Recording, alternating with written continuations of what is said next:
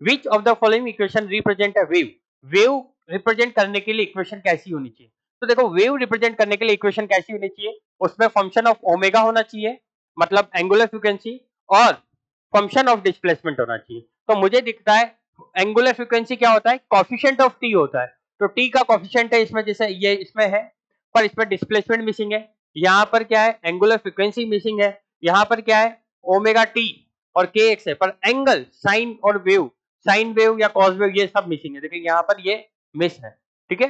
तो अपना correct explanation होता है। ऑप्शन नंबर सी साइन भी है एम्पलीट्यूड भी है, और ये क्या है? कॉफिशियंट ऑफ़ टाइम जो कि एंगुलर फ्रिक्वेंसी है, और यहाँ पे क्या है ये? कॉफिशियंट ऑफ़ डिस्प्लेसमेंट तो मैं यहाँ पे लिख देता हूँ इसको। कॉफिशियंट ऑफ़ एंगुलर फ्रिक्वेंसी ये हो जाएगा आपका कॉफिशियंट ऑफ़ डिस्प्लेसमेंट मतलब एक वेव जो होगा, क्या होगा? डिस्प्लेसमेंट के साथ टाइम का फ़ंक्शन भी होगा। डिस्प्लेसमेंट के साथ टाइम का फ़ंक्शन भी होगा। ऐसे भी हम इसे डिफाइन कर सकते हैं। तो ऑप्शन नंबर सी जो है करेक्ट एक्सप्लेनेशन है एक वेव का इक्वेशन की फॉर्म में।